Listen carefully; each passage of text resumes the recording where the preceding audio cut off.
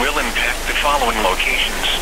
Hiram, Palmyra, Campbell, Hazelton, Pulvoid. For-